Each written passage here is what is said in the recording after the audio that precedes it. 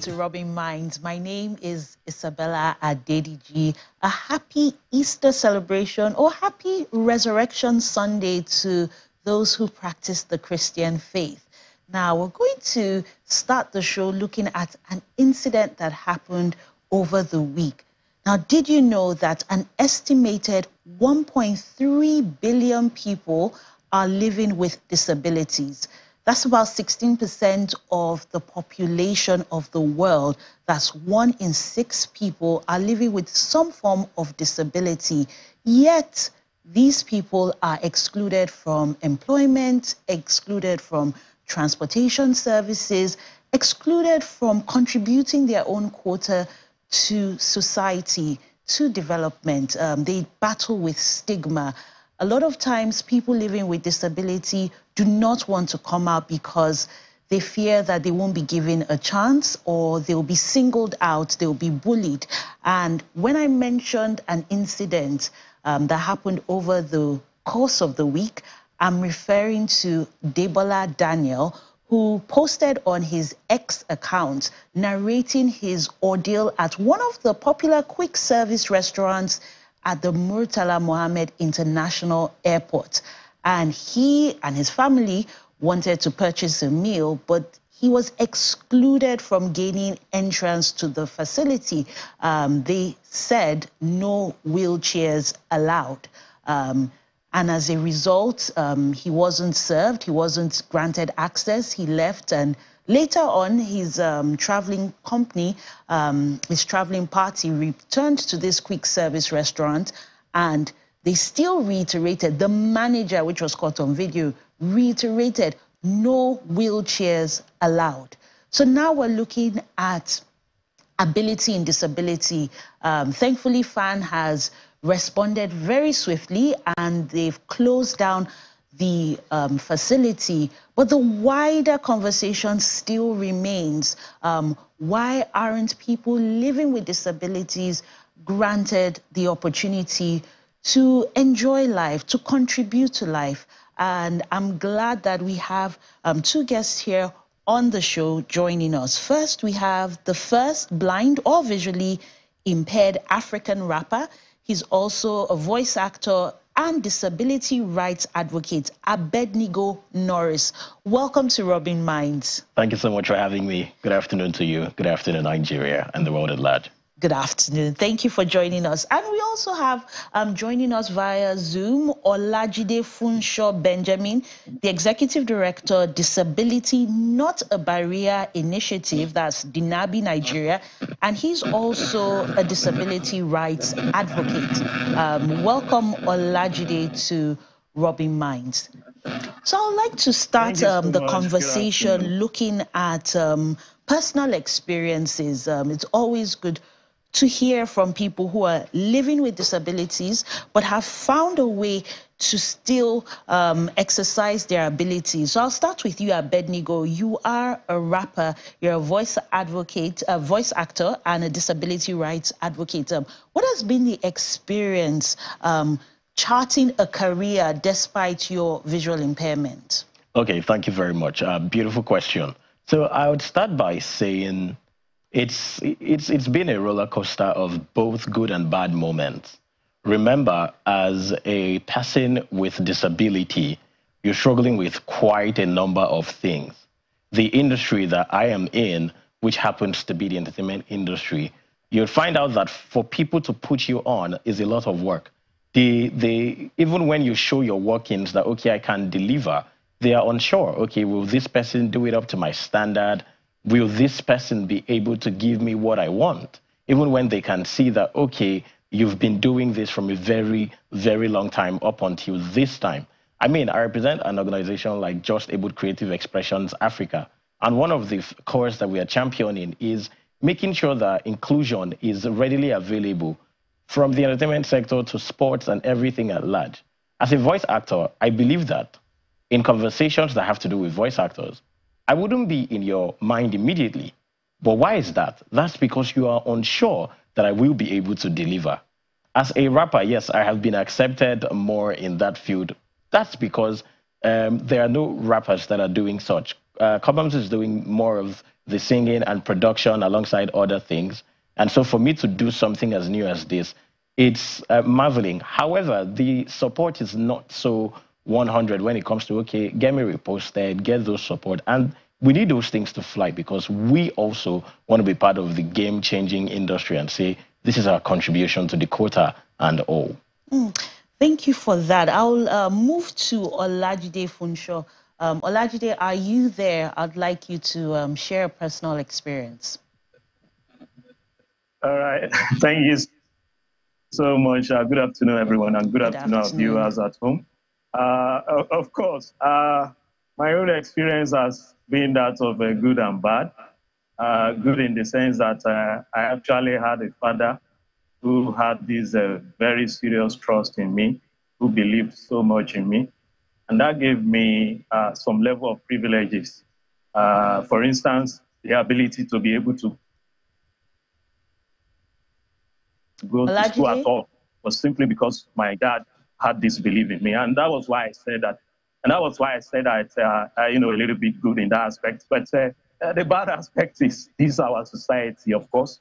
Uh, when you look at the society that we live in, and then uh, you have this uh, cultural belief that persons with disabilities are good for nothing people, you know, and uh, considering the age when I was growing up, uh, the belief then was that the moment you are a person with disability, they have written you up straight. So just forget about it. You are not expected to become anybody in life. So, and uh, you know, growing up uh, in a state like Ekiti State, you know, uh, a little bit uh, local in nature, and had to grow up there. Uh, it was tough.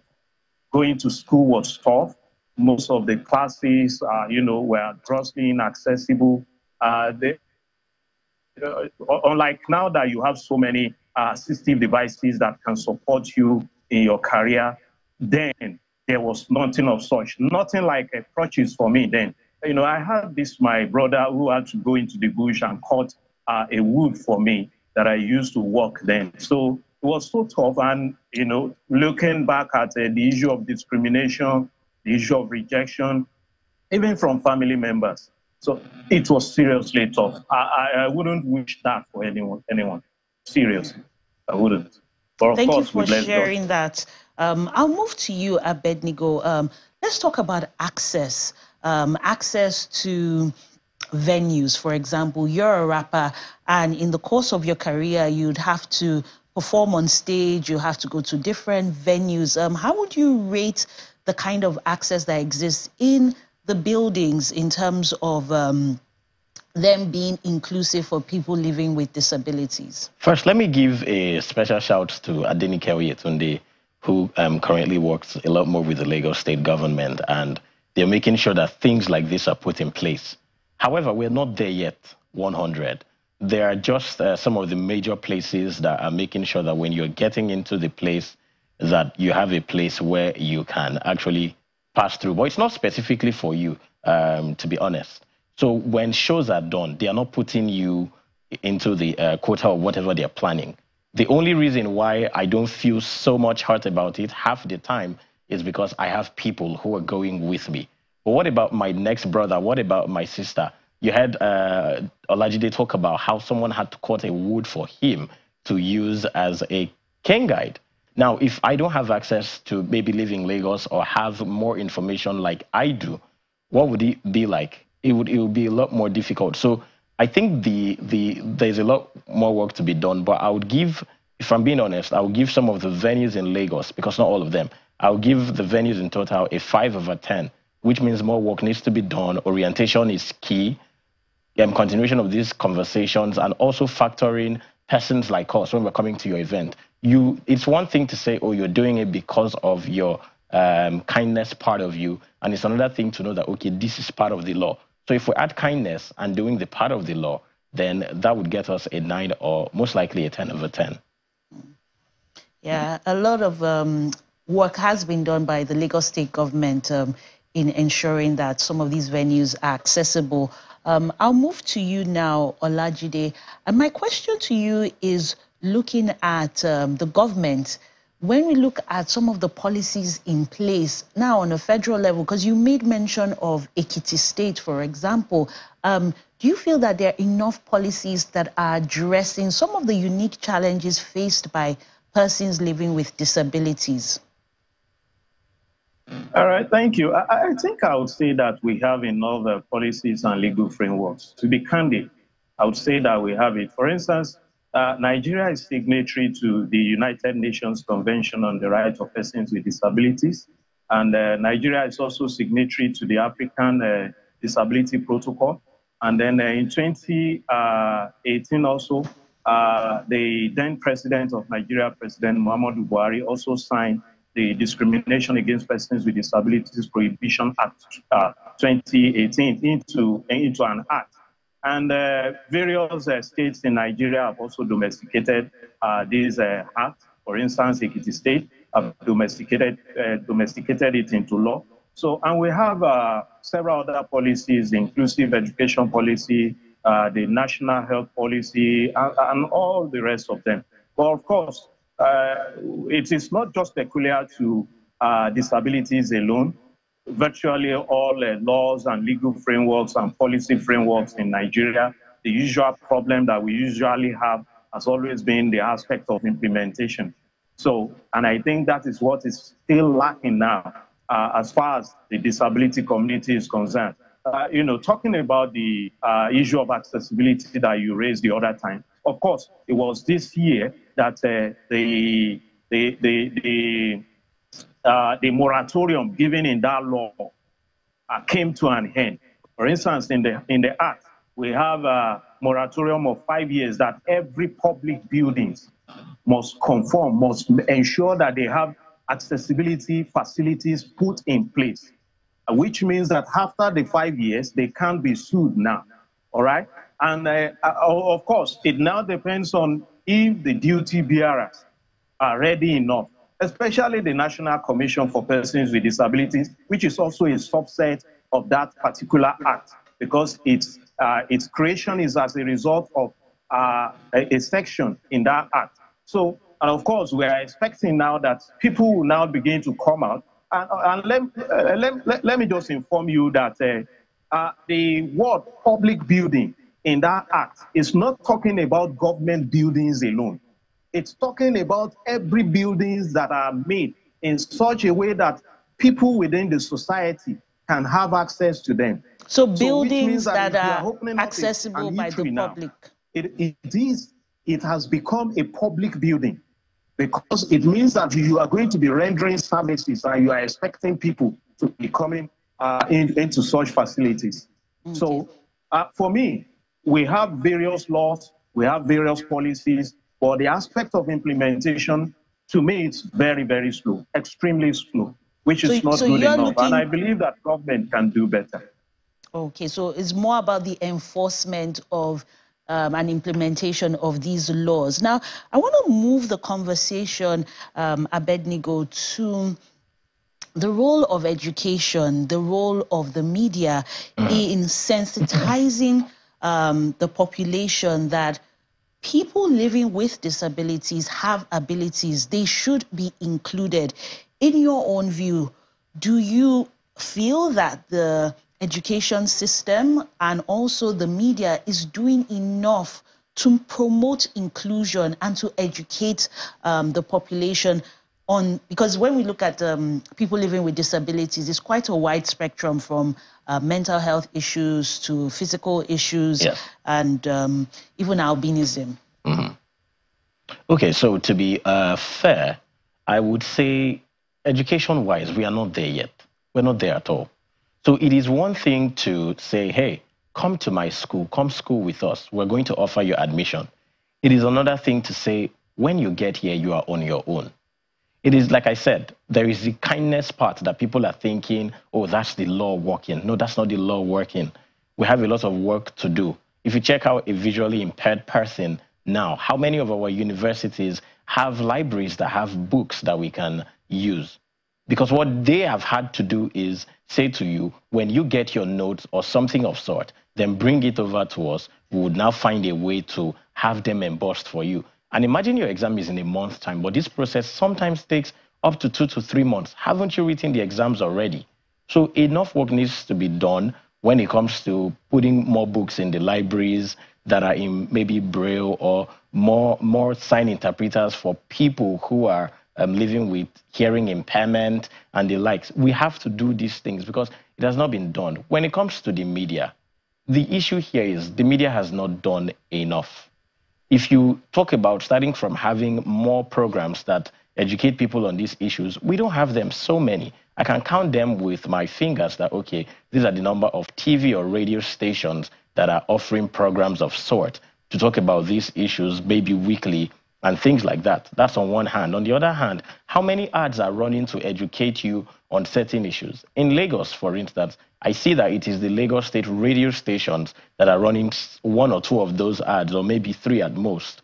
You know, we don't just want the media and the education sector to see us as, okay, let it not be that you did not get an opportunity to be here. We need these things fixed. Are we, if you're in school, are you filling a form that says, oh, some things that you might need, some things that you should be aware of? More scholarship schemes need to come up. For the media itself, um, we have persons with disabilities that want to really work, even behind the scenes, in front of the cameras, in front of the mics. How many jobs are available? I remember an incident that happened to me personally. I mean, it's it's definitely fine now because it's been gone, and I know it will definitely work someday. But I remember a radio station where I had done great, and at that time, rather than retaining me, the excuse was, "Oh, you were still in school." But we have people who are making these things happen. That's a discrimination on its own. Also, we want to be able to join normal conversations in the media not just disability conversations that mm. we're going to be joining in. Now, I'm here because this is a disability conversation. If you're having an issue of, of maybe talking about a buju or maybe a normal Nigerian issue, I should be able to get that call that says, hey, we need you to jump on this conversation as well. If that's not happening, if jobs are not happening also where they say, oh, it's this visually impaired guy, it's this lady with albinism, or this person that is um, the sign interpreter on here, then I think we're just only joking. Mm. So you don't want it to just be a tokenistic approach where um, certain people living with disabilities are only given a chance when it comes to the disability itself, that conversation, but they should be allowed to contribute their quota regardless of um, whatever disabilities they're living with. Um, Olajide, I'd like you to weigh in on that. Um, what are your views when it comes to what the media should be doing, what the education system um, should be doing. In your experience, were you supported um, um, growing up, um, attending schools? What kind of help was available? Olajide? Okay, while we're just waiting for um, the connection to be restored. I'll move to you, Abednego. Um, we've talked about the challenges. Um, right now, what are some short-term solutions? What are some things that need to be done so that we can move the needle further?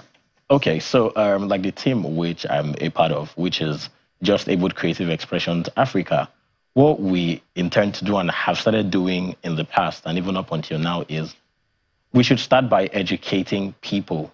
You get orientation needs to be done. Mm. It begins with me and you. If I say, hey, um, Isabella, rather than call me this, can you call me that? you've learned a thing, which means I'm hoping that you teach a person or two how to say it, and then it's it's going to spread that way.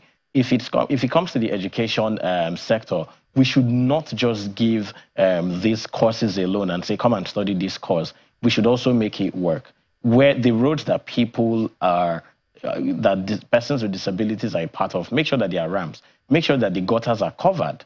If it comes to the media itself as well, we should also champion these conversations, fix these ads to play on radio and TV, talking about why you shouldn't discriminate, what to do better. I, I, I mean, the transportation system too needs to get better. I've gotten in a bus and things like that where someone is saying to me, who go pay? Who's supposed to pay? I, I, he, I got on your bus because I'm obviously paying. Mm. And then you're asking that question. So that's discriminatory. We need to start having these conversations more. It starts with maybe people saying, hey, can we organize something where we have all the drivers or teachers or lecturers or people in media from the most senior ones and say, hey, can we come together and get orientated by these people while we also tell them why certain things can work? We also have to begin to ask, okay, would you be interested before canceling uh, these people out? I think these are some of the short term conversations. Then from time to time, have these conversations, not only when an issue like Debola has happened, that we're going to have it, or maybe we're having this conversation so that it doesn't look like it. Maybe once in three months or something, if every radio and TV station says this is what's going to happen, then cool. Giving opportunities where it is due, not just in um, the disability world. I'm a voice actor, for instance. You will not expect to say, hey, only when there are um, adverts that has to do with disabled persons that you will reach out, or only events for disabled persons for him to host. No, you are reaching out because you believe in the talent, you believe I will deliver, or to um, wrap at your event, not just from the disability angle, but because, yes, truly, I will. So we want to be giving those platforms. Then more scholarship schemes have to be created for persons with disabilities and uh, the likes. There are many more things, but since these are short terms to begin with, then I think we can start from here. Mm, mainstreaming that conversation, and it's not just a reactive approach, but um, you're proactive in ensuring that people are aware.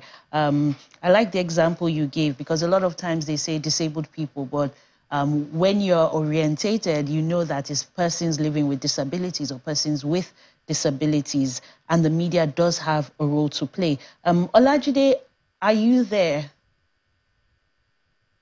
Olajide? Okay. Um, hopefully. Yes, I'm here. Okay, great. Okay, I'd like you now to speak. Yes, yes, yes, I can hear you. Okay. Please go ahead.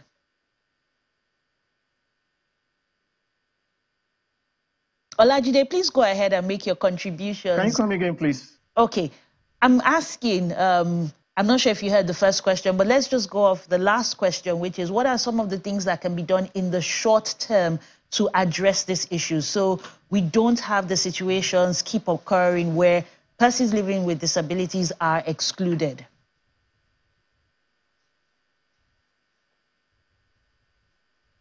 Oh, all right. Uh, th thank you. I, think uh, just like uh, my colleague had, had, just said, I think it is important that we continue to create uh, more awareness uh, around, uh, especially the Disability Act.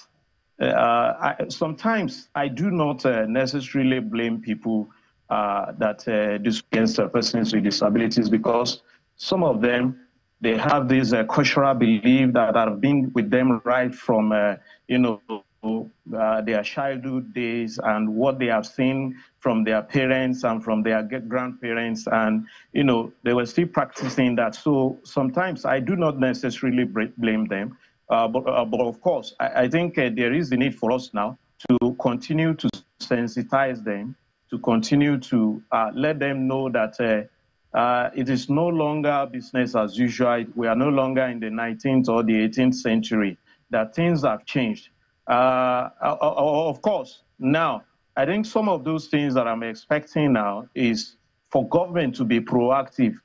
Uh, just like uh, what Abednego uh, said, that, you know, it's not only when it has to do with disability issues that persons with disabilities should be invited. There are other areas. For instance, I studied computer engineering. I'm an IT consultant, which means that I am expected to be practicing. But in a situation whereby it was only when it has to do with disability issues that I'm being called upon. Yes, I am a disability rights advocate, and then uh, I practice it fully as well. So, but uh, of course, who said that I cannot, uh, you know, act and perform as a commissioner uh, for science and technology in my state?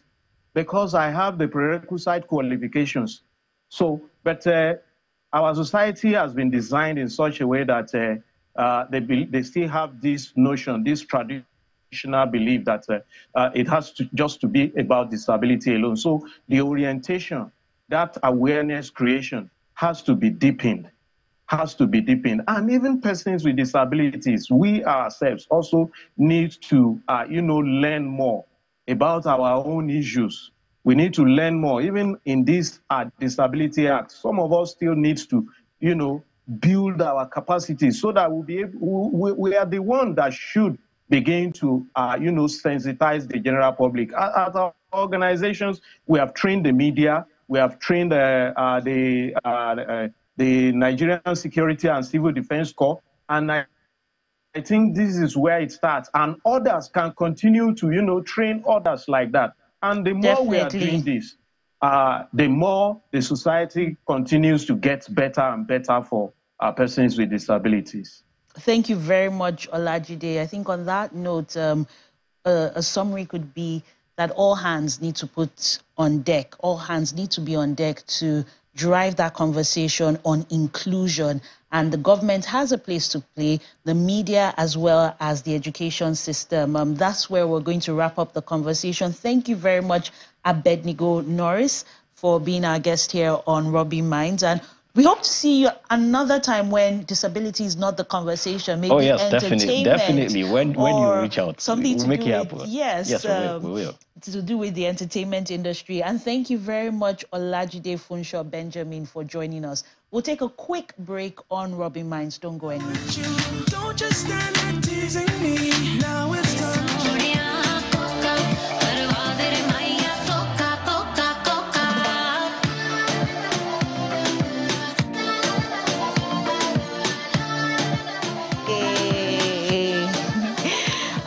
Just heard Coca by Kanika Kapoor featuring Sean. Coca, Coca. Welcome, Kanika Kapoor, to, um, to Rubbin' Minds. Thank you. Um, it's, it's really a pleasure to be here. Yeah, I'm still coca, coca, coca. Okay, tell me, let's go back to the very beginning. Your musical influences, growing up, the inspiration. How did it all start, and when did you get to that point you decided music is it for me? Uh, I grew up in the north of India, uh, in, a, in, a, in a, the cultural capital uh, of, uh, of India called Lucknow. And uh, I moved to London almost 25 years ago. So I lived in India where I studied music. And um, I remember that moment where I was, I used to be the head of the choir and in my school and uh, and I used to sing a lot and I used to participate in competitions. So I studied and did my masters in music, and I was sort of moving more towards that. Um, that's how music started. Um, okay, so what influences did you draw, say, from that mixed background? Because the north of India and in a, a city like London, yes. um, what um, what um, what inspired your decision? Uh, do, do you have any specific musical artists that played a huge role in becoming a musician? I wouldn't say a musical artist, but I think my guru, my teacher, he was a very, very senior uh, artist and a, and a classical singer um, of his times. Um, but very, very traditional classical, you know, from the famous Banaras Gharana, as we'd call it, the, the school of music. Um, and uh, I was very inspired by him. But because I moved to London at a very mm. young age. I was a teenager. I um, almost sort of got the best of both the worlds, the East and the West, and you know, the culture. Which is why a lot of my music, and actually most of my music, is very, very fusion between mm. India and the rest of the world. And now with Coca, I, I was getting some Afro beats in there, so yes. we're, we're seeing that fusion continue. Um, in becoming um, an artist, what are some challenges that you faced in doing this fusion music? Because a lot of times when we hear Indian music, it's very in its purest form. We know it from the movies, yes. the dancing, and then now you're fusing that with obviously your experience in London, and now we'll still come back to the Nigeria conversation. But I'd just like to know whether you faced any challenges, any questions. Um, what was the, the initial reactions? You know, I mean, the, the reason that I got success was because I brought my own style and my own sound and my own fusion. Um, I started my career in London with, with a small uh, green screen video on YouTube and it went viral. It was my vocals with, with uh, a, a rapper from the UK, you know, and that became fire. And it was it was the first time it was ever done like that, which is because of that I got Bollywood movie offers, and they asked me to come and replicate that style of music and singing and production in India, and that became a whole new sound in Bollywood. Um, which was going very, very strong over the years. And I think it's just become the Kanika Kapoor sound. Um, And then now I feel that I'm, you know, bringing in yet another sound, which is Afrobeat and uh, and the Indian hook lines. It, it is my style. What what you listen to and what you will be listening to. Um, it's it's something that um, you know is my style of music. I wouldn't even say that so staying true to your sound, your yes. influences, yes. that fusion yes. has opened lots of opportunities. So, um, what made you go into um, the fusion between your music, Indian music, your cultural background, and Afrobeats? So the last few years, I would say Afrobeat started, you know, you know, growing its fire in, in India. And uh, I remember going to a cafe or to a club or to a party, and wherever I would go, there was a, a bit of Afrobeat. Um, and then it became more and more and more. And right now, it's it's it's really huge. I think the sound of uh, you know Afrobeat and Amapiano and you know East African music. Any obviously they don't know the difference over there, but mm. they love the whole sound. But they don't know the artists. They don't know the singers or the producers or where it's coming from. They just like the sound. Mm. I moved to Nigeria um, after getting married, so becoming the Naija wife, the official Naija wife. I thought it would be best for me to sort of do a collaboration which takes the most amazing artists and the sound, sound of Nigeria, which is also my country now, uh, and mix it with India. And uh, that's how it's come together. I'm doing doing exactly what was a success story of Kanika Kapoor back in the UK. So I'm doing that again. Yeah, replicating it here. Yeah, yeah. Um, it, tell me about this um, your new home. Like, how has Nigeria been for you? Um, what what has been your experience so far living in Lagos and being a Naija wife? Um, so it's been coming up to three years where uh, I've been in and out of the country and uh, been spending a lot of time here last two years since I got married. Um, it's it was a bit of a shock when I moved because suddenly from having this huge career in India, in, in the UK, and uh, you know, almost not knowing anybody in this country, uh, making friends, making you know, work colleagues, getting into uh, doing what I do best here. I set up a studio. Uh, I I was very lucky that I met uh, a, a, very famous artist who actually helped me in bringing together my studio and uh, introduced me to a, a, a producer, who then brought in artists, and it went on and on. And I have made some beautiful uh, relationships here. I now have a, a Nigerian manager who looks after work with me. We work together uh, I have my own team here, so it's. I think I've settled in pretty well, and I'm enjoying uh, life here. It's it's it's a lot like India. Mm, okay. Well, what about the food? Um, is it spicy? How are you uh, coping with that? I love the Lagos chili. It's the first time I ever tried Lagos chili was here. I've never had anything like it. Um, I've tried bits and pieces of everything. Uh, I, I, I eat more vegetarian food, so I haven't explored so much. Mm. Uh, but I'm enjoying it. And there's a huge community, Indian community here um, in Lagos, and I know in different parts of um, Nigeria. But I want to go back to the music now. You mentioned um, Afro beats. Do you have any particular artists that you say for those people in India, they might not have the same context you have as living in Nigeria. So you get to know the names of the artists, the songs, yes. the genres, the yes. sub-genres. So any particular um, Afrobeat artist that you've been inspired from or has um, influenced your sound? I wouldn't say I've I've not reached that place where I've been influenced by a particular sound. I just love. I'm still learning the difference between the different sounds of Afrobeat. And I, and I love, the more I learn, the more I want to learn. Um, so I'm overall inspired by the beat and, and the different techniques of it. And actually, lately, I've been listening to a lot of old school Nigerian African music uh, from the 80s and the 90s, you know, where I feel it is so much like Bollywood, old music you know, it had a, it was more about compositions, it was more about the singing. Um, and now I think as it's changing, uh, we are, uh, I plan to do a lot more of the old school feel with the new Afrobeat, even over here. When you say the old school, do you mean maybe the high life, or do you mean like Fela's, which is Afrobeat, yes, as opposed yes. to the Afrobeats? Um, any particular? I mean, there, I, I, don't remember the name of those the female artists that I had been listening to because it's it's it's been a lot of them. But yes, I mean, Fela's was was the old school feel. I I, I still feel that bringing in the old school feel and merging it to, with today's Afrobeat, mm. even in Nigeria, would be so phenomenal.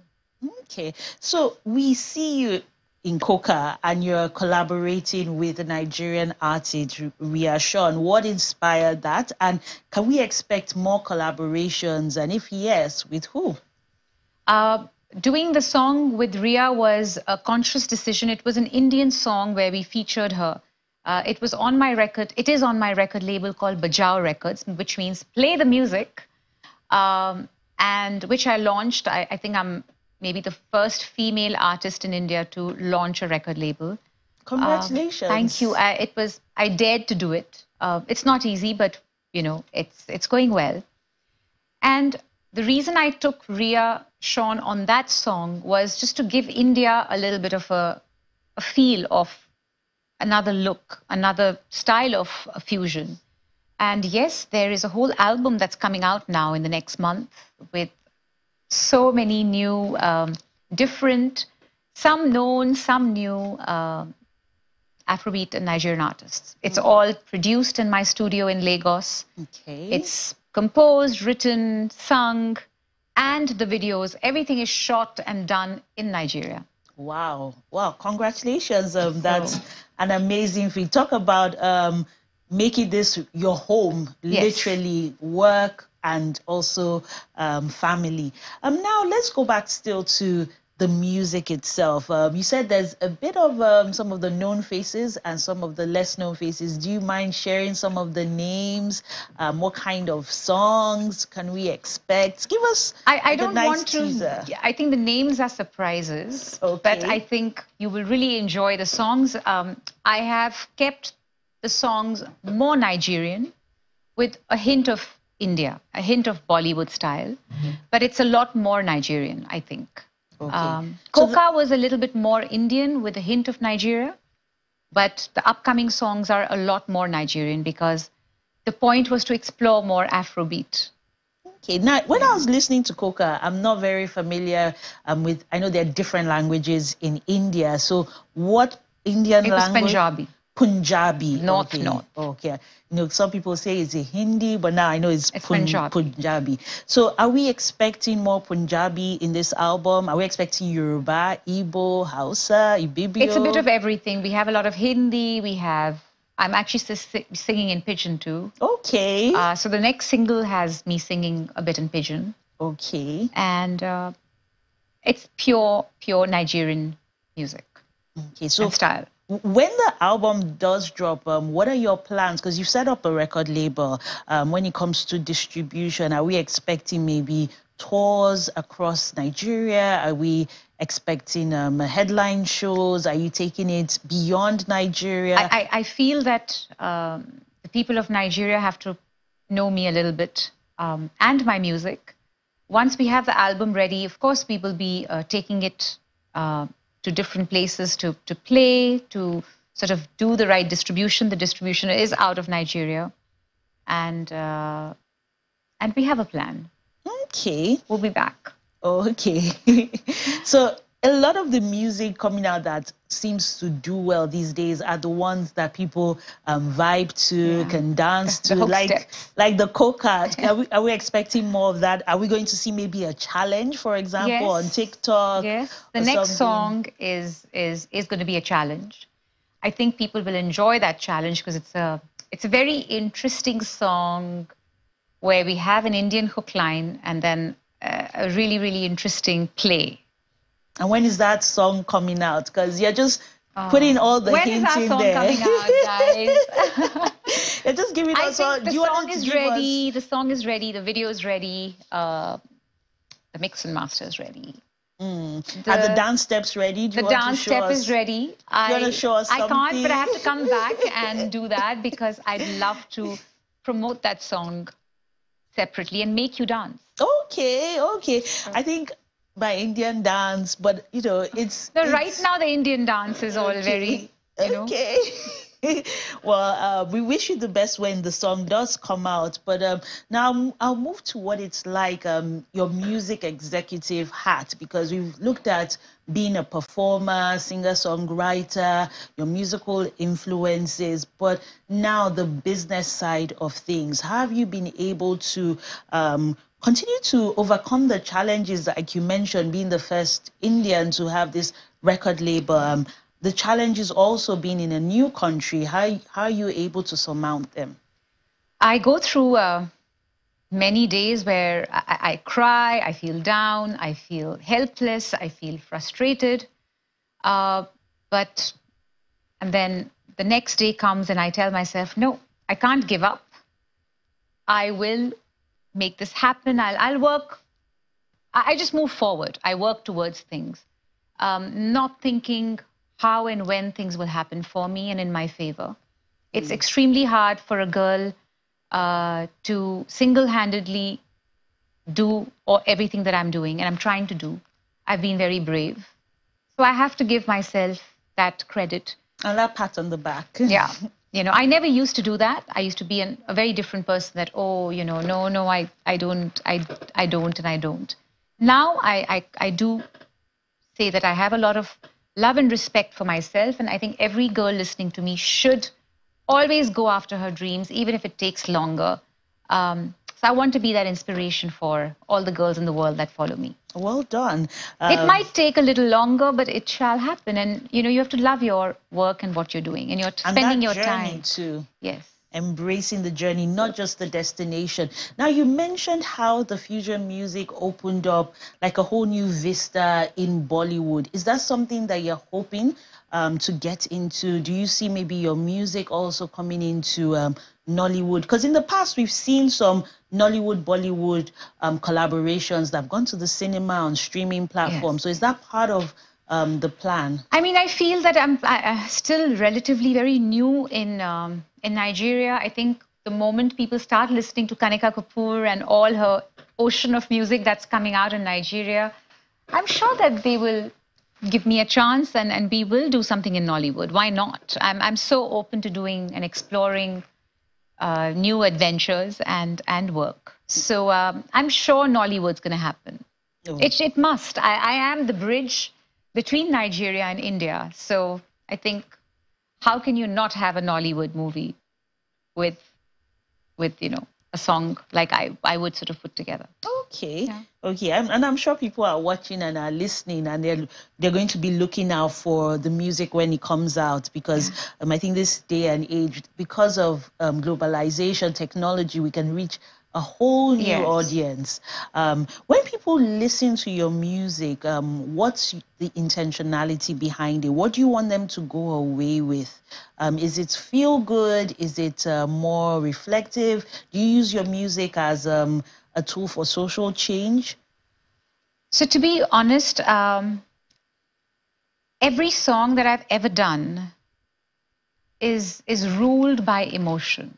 Mm. There is uh, I'm known for celebration, and but I think that when I did and recorded some of my most famous songs, which were dance, the, some of the greatest dance songs of Bollywood, I was at my lowest and and emotionally uh, quite a broken person. So for a girl who was um, not all there and happy and excited to be singing and making everyone dance, that was an emotion that connected with different people on different you know stages of their their feelings i mean i'm not able to explain but my songs even if it's a sad song even if it's a love song even if, if it's a celebration song i might connect with people is my emotion what i put into the song i don't think about the rest mm. i just don't think about the rest of it i don't think my my songs are clean uh, they always have like an underlying emotional meaning to them. Um, it could be a girl. Uh, a lot of my famous songs and some new songs that are coming are all very girl centric about how girls feel or want to be treated or about how little little girls dream. You know, and this has come from a place of um, personal experience. Yes, reflection. it has. It is my my upbringing uh, in the small town in a uh, with with the dreams that I've grown up with, um, and experiences of life that I, I had during my downfall for a long time. So I think it's a lot of those little little bits that I sort of naturally put into my songs without knowing. Okay. Yeah. Now I'm going to come back to the vibrancy of you know the culture here in Lagos, whether it's the food or the fashion, um, the music, and all. How are you incorporating all those elements? Because you mentioned that um, there your videos were all produced here. So are there particular designers that you've collaborated with in terms of the fashion? Yes, I yes, have. Um, yeah, spill I tea. am. Uh, I am. I can't even tell you how much love I have for the new uh, way of dressing I'm starting to have, the, the new wardrobe that I have. uh, I've been exploring all the, the fashion in Nigeria. I've been uh, wearing a lot of Nigerian designers. And every time I post anything wearing a Nigerian designer, everyone from India is asking me, oh, this looks really chic. This is very cool. We love the print. We love this. We love the cut. Where is this, where is this from? Uh, I do feel that I need to take the Nigerian fashion to India. Mm. They would love it. Uh, so I've been wearing a lot of Lisa Folawiyo, um, Banke, Banke Kuku. I've been wearing uh, Eki Kere. I've been, I've, there's a lot more that I've been sort of wearing. And my videos have a lot of Nigerian fashion. Mm. So yeah. Okay. Okay. And then what has been like um, standard experience for you as a Nigerian wife, as a migrant who has now made this place home? Um, can you point to maybe an experience or two? Huh. What ex- what kind of an experience? Good we? one, I'd hope. Good one. I mean, like I said, for anyone who moves to a, a new country where she knows almost nobody except her husband and her in-laws, uh, from a new home to settling in and understanding what's around me. It's been a very pleasant experience. Okay. My, my, I think my husband made it very easy for me. You oh. know, he's been very caring and very nurturing, and I think he's been treated. My in-laws and my husband, they've treated me like this little girl that they are very protective about, and uh, I think they forget I've grown up, which is, but it's very sweet that they do. So I, I think I've had a great experience. Uh, living and and settling in. I never feel that I'm away from home or it's become home. Okay. And finally, I'll just say, um, what message do you have to your fans out there? I would just like to say that uh, I'm I'm doing beautiful music for for the world, for uh, the people of both my countries, uh, for the people of India, for the people of Nigeria, and just give your Naija Naija wife a chance. Give your Naija wife a chance. And, I love that.